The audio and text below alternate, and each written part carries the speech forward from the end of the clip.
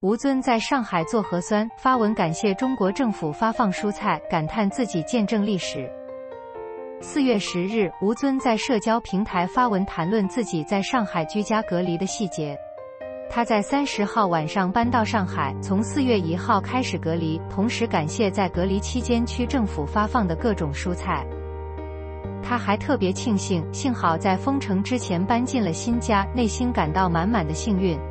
在搬家过程，他们搬来了四十个行李箱、八十个快递箱，可以看见一屋子的东西，并回复网友说：“我们夫妻真的是整理家的高手。”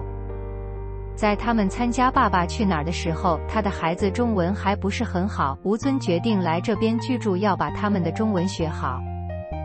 吴尊选择了中国居住，看重的不光是中国的市场，还有中国在疫情期间的有效控制。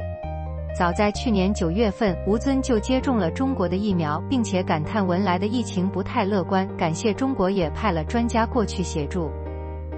在吴尊搬来上海的这段时间，他也遵循疫情规则，按时下来做核酸。做完核酸以后，还与医护人员合影，给医护人员赠送了爱心香蕉。